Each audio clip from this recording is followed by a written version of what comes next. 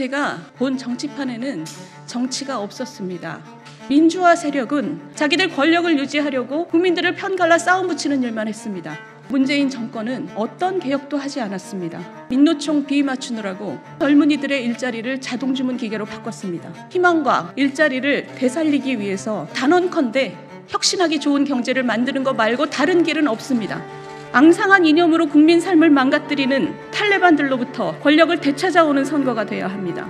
경제의 굳은 살을 베어내고 새로운 기회를 만들어내겠습니다. 존경하는 국민 여러분, 저는 20대 대통령 출마 선언을 위해 이 자리에 섰습니다. 아시다시피 저는 정치에 입문한 지 이제 겨우 1년이 됐습니다. 정치 경력 1년만으로 대통령처럼 중차대한 자리를 책임질 수 있겠냐 우려가 많으실 것으로 생각합니다.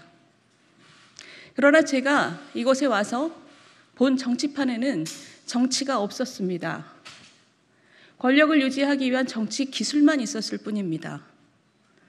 기억하시겠지만 얼마 전에 유력한 야당 후보가 부상하자 여당 대표는 뒷조사 파일을 만들고 있다고 당당하게 얘기했습니다. 초등학교 반장 선거에서도 손가락질 받을 만한 일입니다.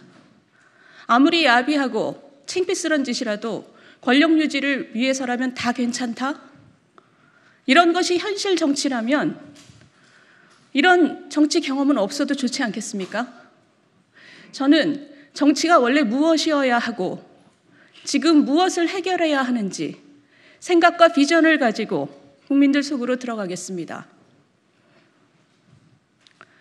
저희 어머니는 낙동강변의 작은 마을에서 자랐습니다.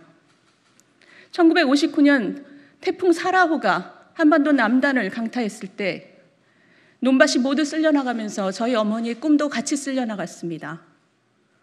진학하려는 꿈을 접고 저희 어머니는 입을 줄여야 되기 때문에 강 건너에 있는 집으로 씹을 갔습니다. 그 젊은 부부는 일자리를 찾아 서울로 상경했습니다. 사남매를 낳아 키우면서 저희 어머니는 내 자식들은 나처럼 배움을 포기하지 않도록 하겠다. 나보다 나은 삶을 살게 하겠다. 끊임없이 다짐했습니다. 저희 부모님은 그 소망을 이루었습니다.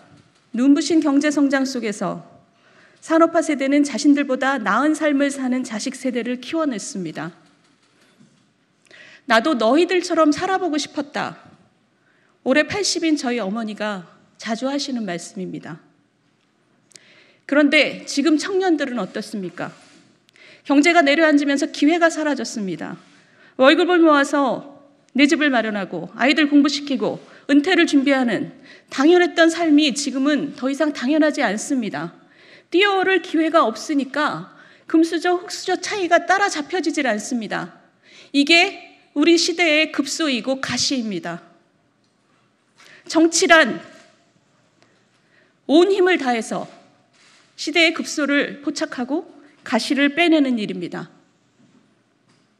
그러나 소위 민주화 세력은 이런 정치는 외면하고 자기들 권력을 유지하려고 국민들을 편갈라 싸움 붙이는 일만 했습니다.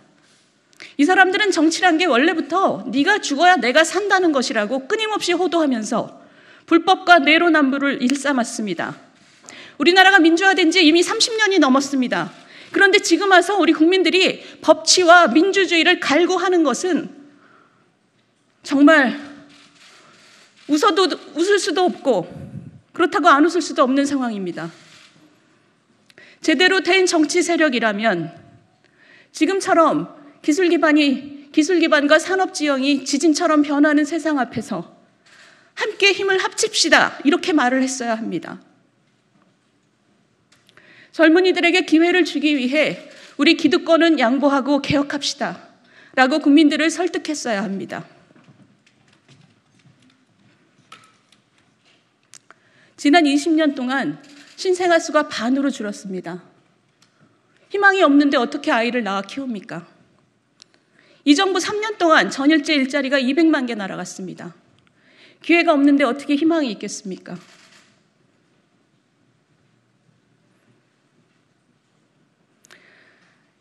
그러면 희망과 일자리를 되살리기 위해서 우리는 무엇을 해야 할까요? 경제학자로서 제가 단언컨대 투자하고 싶고 혁신하기 좋은 경제를 만드는 것 말고 다른 길은 없습니다. 그런데 그것을 하기 위해서는 그게 왜 안 되는지 우리 안을 들여다보고 뭐가 문제인지 굳은 살을 발라내고 그리고 허리띠를 졸라매야 됩니다. 그것을 개혁이라고 부릅니다. 그러나 모든 개혁은 기득권 세력과의 싸움이고 귀족 노조와의 싸움입니다. 그렇기 때문에 어려울 수밖에 없습니다. 그러나 뼈를 깎는 개혁을 말하지 않고 장밋빛 얘기만 하는 것은 정치가 아니라 기만입니다. 문재인 대통령 그리고 문재인 정권은 어떤 개혁도 하지 않았습니다. 노동개혁, 교육개혁, 공공부문 개혁, 어느 하나 입에 올리고 있지 않습니다. 하다못해 곧 고갈될 것이 뻔한 국민연금도 방치했습니다. 그러면서 자기들 정권 창출을 도운 민노총 비위 맞추느라고 최저임금을 2년에 30%나 올려서 수많은 젊은이들의 일자리를 자동주문 기계로 바꿨습니다. 이 정도면 정부가 아니라 일자리 파괴범입니다. 부동산은 어떻습니까? 아파트에 대한 환상을 버려라. 그러면서 내 집 마련 꿈을 박살냈고 임대차법으로 전세도 씨를 말렸습니다. 이 정부가 근성 있게 한 것이라고는 빚을 내서 돈을 뿌리는 것 뿐입니다. 대한민국 정부 수립 후 박근혜 정부까지 지금까지 쌓인 빚이 660조 원입니다. 그런데 그 3분의 2만큼을 문재인 정부에서 새로 쌓았습니다. 일자리를 파괴한 것 뿐만 아니라 빚더미까지 청년들한테 안긴 것입니다. 그러니까 이 정부는 자기보다 훨씬 더한 악성의 포퓰리즘에 문을 활짝 열어줬습니다. 지금 여권의 선두주자인 후보는 가난하든 부자든 모두에게 돈을 똑같이 뿌려서 경제를 성장시키겠다 말하고 있습니다. 여러분, 우리나라 경제는 그 규모가 이미 세계 구둥입니다. 그런데도 길에는 폐지를 줍는 가난한 노인들이 많습니다. 그것이 우리 국민들 가슴 속에 얹혀 있는 큰 돌덩입니다. 그런데 똑같이 돈을 뿌려서 세금주도 성장을 한다고 합니다. 소득주도 성장으로 경제를 말아먹고도 얼마나 국민이 우스웠으면 이런 짓을 반복합니까? 지금은 4차 산업혁명입니다. 어떤 나라가 추락할지, 어떤 나라가 도약할지 아무도 모르는 불확실성의 세계입니다. 우리 스스로를 바꿔야 내일을 바꿀 수 있습니다. 다른 나라에 없는데, 경쟁국에는 없는데, 우리나라에만 있는 규제는 다 없앤다. 우리 경제를 꽉 막고 있는 혈맥은 뚫고야 만다. 이런 마음으로 전심 전력을 다해서 우리를 쇄신하지 않으면 청년들의 내일이 없습니다.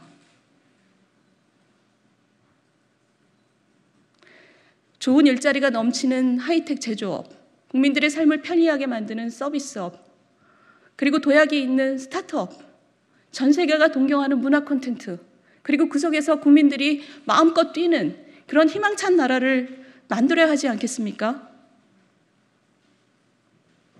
희망이 있어야 선한 영향력이 사회를 퍼져 나갑니다.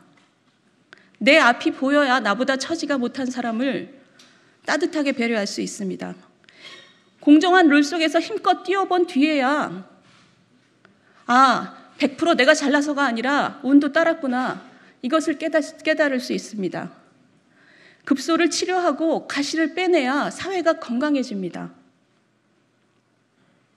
국민 여러분, 이번 대통령 선거는 너 죽고 나 죽자 정치를 끝내고 민주주의의 본질을 회복하는 선거가 되어야 합니다. 입으로만 공존을 외치면서 편가르기만 해대는 위선자들을 역사에서 몰아내는 선거가 되어야 합니다. 앙상한 이념으로 국민 삶을 망가뜨리는 탈레반들로부터 권력을 되찾아오는 선거가 되어야 합니다. 진보의 탈을 쓰고 기득권 노조의 편만 들면서 개혁을 막아서는 그런 수구 세력에게 책임을 묻는 선거가 돼야 됩니다. 권력이 만들어낸, 정치가 만들어낸 지역 갈등, 세대 갈등, 남녀 갈등을 끝내는 화합의 선거가 돼야 됩니다.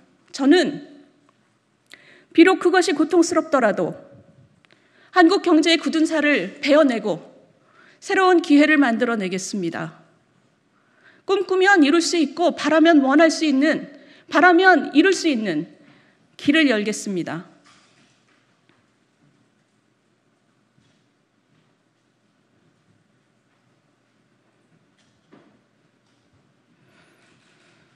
도전하고 실패해도 일으켜 세우고 그리고 등을 밀어주는 그런 나라를 만들겠습니다. 청년이 미래를 희망을 얘기하고 그리고 모든 국민이 오늘보다 나은 내일을 믿는 그런 나라를 만들겠습니다. 다음 세대에게 부담을 넘기지 않는 나라를 만들겠습니다. 그러니 국민 여러분, 여러분 한 사람 한 사람의 목소리를 내주시고 영향력을 모아주십시오. 그러면 제가 여러분과 함께 한 시대를 보내고 새 시대를 열겠습니다. 감사합니다.